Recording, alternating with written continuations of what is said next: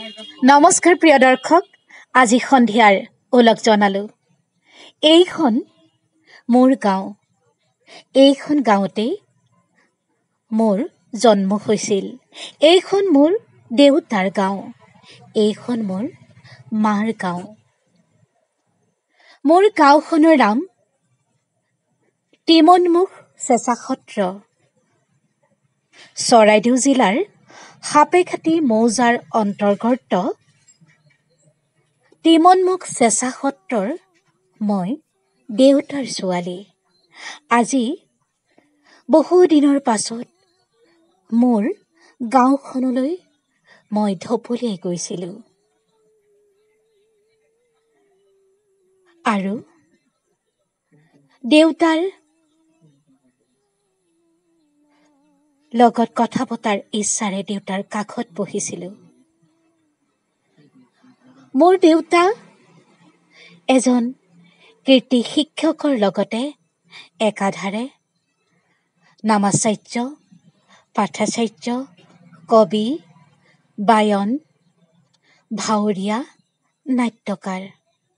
মোৰ দেউতাক চৰাইদেউ জিলাৰ ইমূৰৰ পৰা সিমূৰলৈ সকলোৱে চিনি পায়।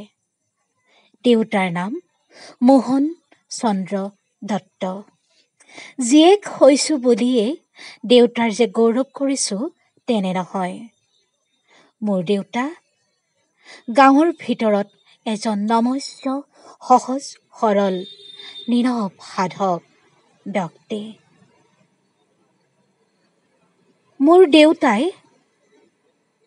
আজিও চশমা নোহোৱাকৈ কিতাপ পঢ়ে। মোৰ দেউতাৰ বয়স সাতাশী বছৰ। সাতাশী বছৰ বয়সতো মোৰ দেউতাই কণ্ঠত নিগৰাব পাৰে অমূল্য হৰিনাম। একাধাৰে গাব পাৰে কীৰ্তন।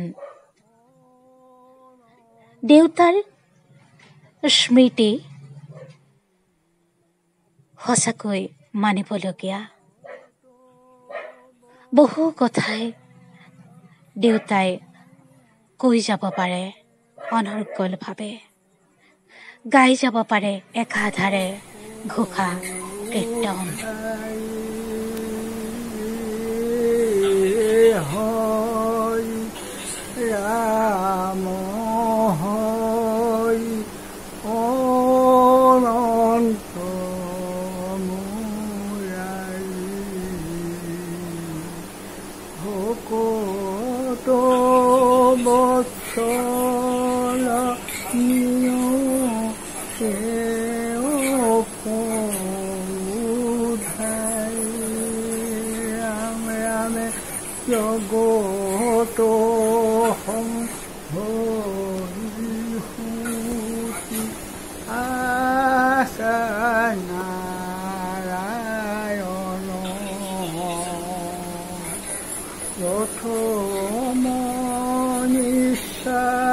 হে বাজো ভোলা বেদ গুণ রাম রামে হয় রাম হয় অনন্ত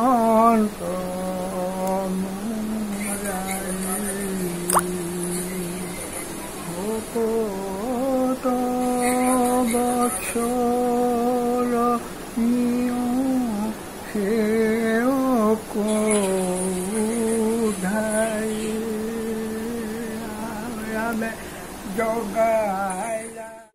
আজিলৈ দেউতাৰ ঘৰৰ পৰা বিদায় ললো। শুভৰাত্ৰি।